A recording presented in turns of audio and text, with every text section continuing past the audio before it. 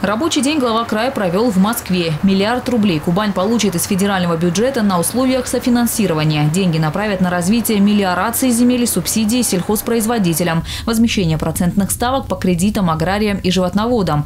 Также федеральные деньги пойдут на компенсации за строительство теплиц, молочно-товарных ферм, фрукта и овощехранилищ. Это приоритетные сферы господдержки на следующий год, о необходимости которых не раз говорил Александр Ткачев.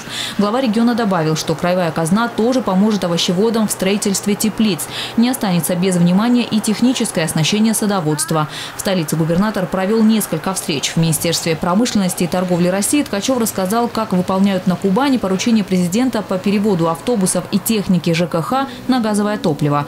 Благодаря федеральным субсидиям в скором времени край приобретет около 300 таких машин. По словам Ткачева, перевозчикам, которые работают на экологически чистом топливе, отдадут предпочтение при заключении контрактов.